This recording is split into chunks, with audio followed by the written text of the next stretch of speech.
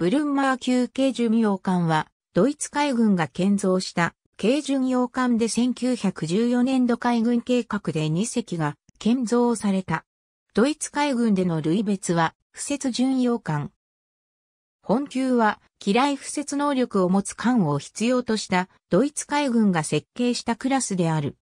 敵陣営に機雷を敷設するために機関を強化して28ノットを発揮し、小型の船体で有力な火力を得るために、ドイツ海軍で初めて主砲の15センチメートル速射砲で中心線上に並べて両舷に施行できるようにされた。火力と機雷搭載能力の代償として防御走行はやや薄かった。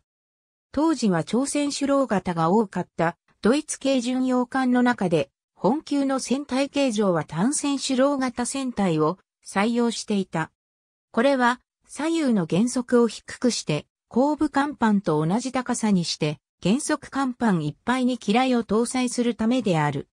機雷は片弦1条で計2条のレール上を滑って完備から投下された。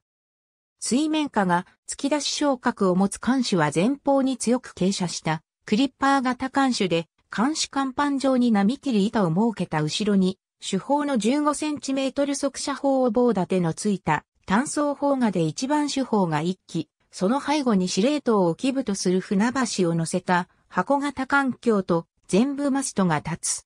船体中央部に等間隔に並んだ3本の煙突が立ち、1番2番煙突の間に2番手法が1機配置された。